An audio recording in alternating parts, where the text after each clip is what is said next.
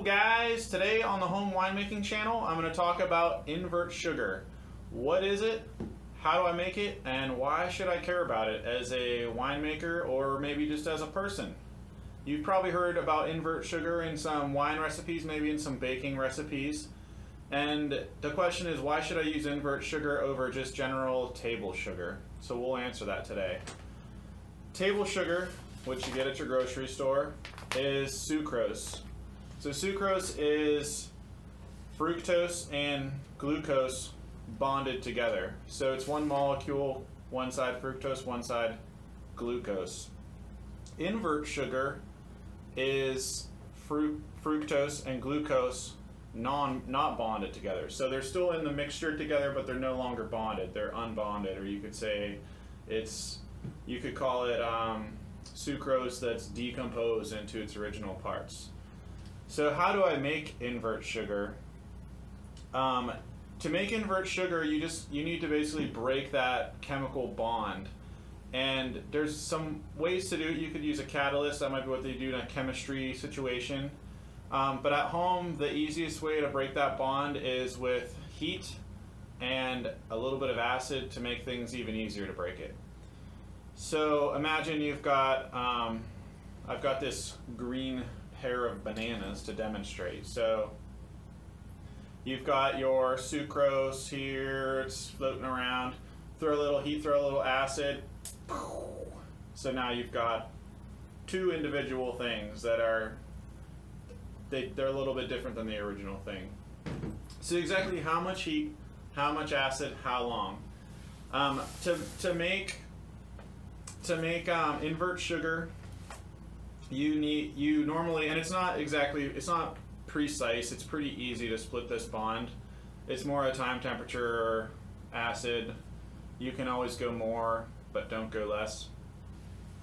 You make it a lot like you would just make like you would just try to dissolve uh, sugar in water.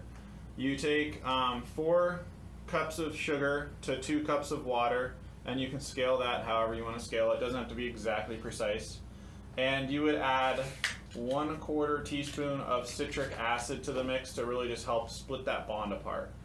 If you don't have citric acid, you could use another kind of acid, tartaric acid, um, acid blend. You could even use lemon juice. It just really makes it a little bit easier to, to break that molecule apart. Um, you, so once you've got your mixture, you pour it into a pan, a nice clean pan, and heat it up to a boil and when it comes to a boil, don't don't just keep it at a raging um, boil because you don't want to caramelize it because that creates its own taste altogether.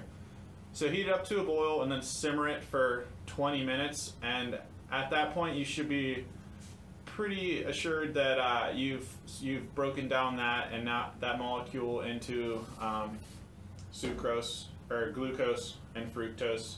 Now your your mixture is officially invert sugar. Why is it called invert sugar? This is a little fun fact. Uh, it's called invert sugar because it actually bends the light backwards. So if you shine a light through um, sugar water, it might bend light this way. You shine light through invert sugar, it'll bend it the opposite way. So that's why it's called what it is. And now, the real question, why should I care about invert sugar? Um, and it's something I didn't necessarily care about until pretty recently, and, and it makes a lot of sense why you should care. So, wine is highly acidic, we know this. Um, pH is anywhere from, say, 3.0, 3.1 to 3.6 or 3.7. Um, so, over time, if you were to back sweeten your wine with table sugar, within, say, a month, it will actually, it will break that sucrose down into fructose and glucose or lit literally invert the sugar on its own. Uh, and and if you if you do sweeten wine with just table sugar, you might notice that in a month from the time you've sweetened it, all of a sudden it tastes a little bit sweeter, maybe in a bad way. So maybe you think you've tuned it just perfect, and one month later, all of a sudden you're thinking, man, no, I think this is too sweet. I can't take any sugar back out. I already put it in. So the reason you use invert sugar is so that when I sweeten this wine to the desired level that I want it to be, I can be assured that if I come back one month from now that wine tastes just like it did today. So I'm not surprised when I open a bottle and say, check out how good this wine is to my friends. And they're like, whoa, this tastes like candy. It's kind of weird.